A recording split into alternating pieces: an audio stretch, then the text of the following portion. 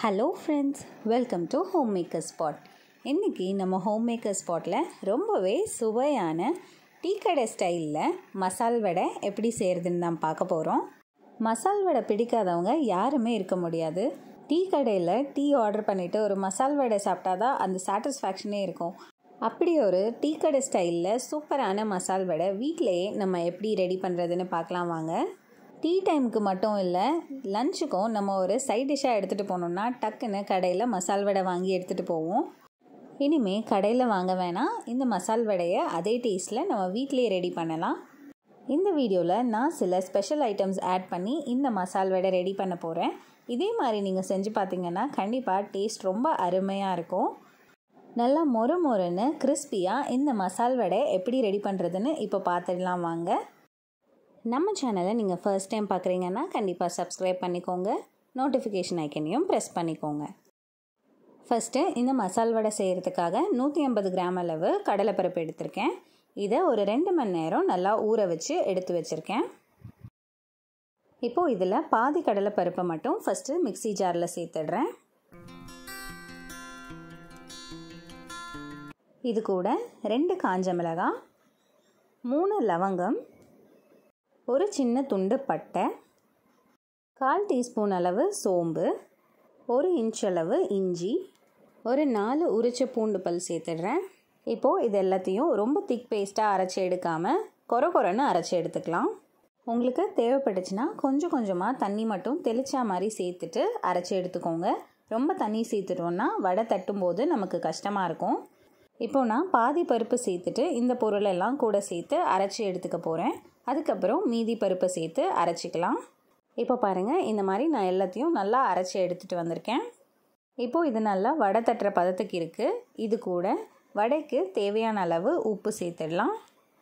கால் teaspoon அளவு சோம்பு ஒரு பிஞ்ச் அளவு பெருங்காயம் ஒரு பிஞ்ச் அளவு மட்டும் காஷ்மீரி ரெட் சில்லி பவுடர் சேர்த்துடுறேன். ஏற்கனவே ரெண்டு மிளகாய் சேர்த்து அரைச்சி எடுத்திருக்கோம். ரெண்டு மீடியம் சைஸ் வெங்காயம் பொடியாக நறுக்குனது எடுத்திருக்கேன். ஒரு சின்ன பச்சை மிளகாய் கட் பண்ணி எடுத்திருக்கேன். கொஞ்சமாக கருவேப்பிலை கொஞ்சமாக கொத்தமல்லி கட் பண்ணி எடுத்திருக்கேன். இப்போது இது எல்லாத்தையும் நம்ம அரைச்சிருக்க மாவு கூட சேர்த்துடலாம். ஃபஸ்ட்டு வெங்காயம் சேர்த்துடுறேன். இது கூடவே கொத்தமல்லி கருவேப்பிலை பச்சை மிளகாய் இது மூணையுமே சேர்த்துடலாம். ஒரு ரெண்டு ஸ்பூன் அளவு கடலைப்பருப்பு ஊற வச்சது நான் எடுத்து வச்சுருக்கேன். இதையும் சேர்த்துடலாம். இப்போது இது எல்லாத்தையும் நல்லா மாவு கூட மிக்ஸ் பண்ணி விட்டுறலாம். மாவு அரைக்கும் போது நான் சேர்த்துருந்த பட்டை லவங்கம் இஞ்சி பூண்டு காஞ்ச மிளகாய் இது எல்லாமே இந்த வடை மாவுக்கு ஒரு சூப்பரான ஃப்ளேவர் கொடுக்கும். அதுவும் இல்லாமல் நம்ம சோம்பும் சேர்த்துருக்கோம். இந்த பொருளெல்லாம் கரெக்டான அளவு சேர்த்திங்கன்னா தான் டேஸ்ட்டு டீக்கடை ஸ்டைலில் செய்கிற மசால் வடை மாதிரி வரும். பட்டை லவங்கம் நான் சொல்லியிருக்க அளவு மட்டும் நீங்கள் சேர்த்திங்கன்னா பர்ஃபெக்டான சூப்பர் டேஸ்ட் வரும். எக்ஸ்ட்ராவாக கொஞ்சம் ஆட் பண்ணிட்டீங்கனாலும் அதோட டேஸ்ட் அதிகமாக எடுத்து காட்டும். அவ்வளோதாங்க சூப்பரான மசால் வடை மாவு ரெடி ஆயிடுச்சு. மாவு இந்த பதத்தில் இருந்துச்சுன்னா வடை தட்டும்போது ரொம்பவே ஈஸியாக இருக்கும். அவ்வளோதாங்க இப்போது வடை சுட்டு எடுத்துடலாம். இதுக்கு ஒரு கடாய் வச்சுட்டு வடை சுடுறதுக்கு தேவையான அளவு எண்ணெய் சேர்த்துடலாம். ஸ்டவ்வை மீடியம் ஃப்ளேம்லேயே வச்சு செஞ்சுக்கலாம். ஹையில் இல்லைனா ரொம்ப லோவில் வச்சோம்னா வடை வேகவும் டைம் ஆகும். அப்படி இல்லைனா கருத்து போயிட வாய்ப்பு இருக்குது அதனால் மீடியம் ஃப்ளேம்லேயே வச்சு செஞ்சுக்கலாம்.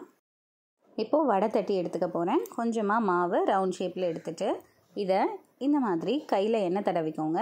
வச்சுட்டு ஒரு ப்ரெஸ் பண்ணிங்கன்னா நல்லா ரவுண்ட் ஷேப்பில் வந்துடும் வடை ஷேப்பில் இன்னும் பெருசாக வேணும்னா நல்லா தட்டிக்கிட்டிங்கன்னா கரெக்டாக நமக்கு ஷேப் வந்துடும் அவ்வளோதாங்க இப்போ எண்ணெய் சூடானதும் இந்த வடையை எண்ணெயில் சேர்த்துடலாம். இப்போது இதே மாதிரி எல்லா மாவையும் நான் நல்லா வடை ஷேப்பில் தட்டி எடுத்துக்கிறேன். இது எல்லாத்தையும் எண்ணெயில் சேர்த்து நல்லா பொரித்து எடுத்துக்கலாம். ஸ்டவ்வை மீடியம் ஃப்ளேமில் வச்சு இதை செஞ்சுக்கிறேன். அப்போது தான் உள்ளேயும் நல்லா வடை வெந்து வரும். ஹை ஃப்ளேமில் வச்சுட்டோம் அப்படின்னா மேலே மட்டும் வடை வெந்தா மாதிரி தெரியும். ஆனால் உள்ளே வெந்திருக்காது. அதனால் மீடியம் ஃப்ளேம்லேயே வச்சு இதை நம்ம செஞ்சுக்கலாம். ரெண்டு சைடும் ஈவனாக வேகிற மாதிரி திருப்பி விட்டுக்கிறேன். இப்போ பாருங்கள் வடை நல்லா கலர் மாற ஆரம்பிச்சிருச்சு. நல்லா கிறிஸ்பியாக வந்துட்டுருக்கு.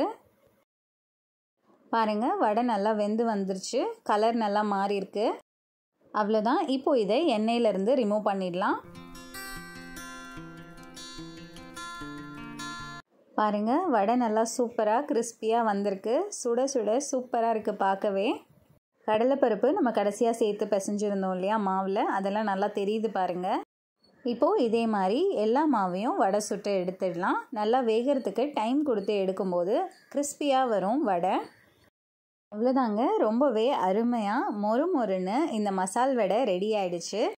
இந்த வீடியோவில் நான் சொல்லியிருக்க மாதிரியே எல்லா பொருளும் சேர்த்து அதே அளவில் நீங்கள் செஞ்சு பாருங்கள் ரொம்ப ஈஸியாக வீட்டிலையே ஒரு சூப்பரான டேஸ்ட்டில் இதே மாதிரி மசால் வடை நீங்களும் ட்ரை பண்ணி பாருங்கள் மேலேயும் நல்லா கிறிஸ்பியாக இருக்குது உள்ளேயும் நல்லா வெந்து வந்திருக்கு பாருங்கள் இந்த மசால் வடை நீங்களும் வீட்டில் ட்ரை பண்ணி பார்த்துட்டு எப்படி இருக்குன்னு கமெண்ட்ஸில் சொல்லுங்கள் இந்த வீடியோ உங்களுக்கு பிடிச்சிருந்தா வீடியோக்கு ஒரு லைக் பண்ணிவிட்டு உங்கள் ஃப்ரெண்ட்ஸ்க்கும் ஷேர் பண்ணுங்கள் நம்ம சேனலை சப்ஸ்கிரைப் பண்ணிக்கோங்க.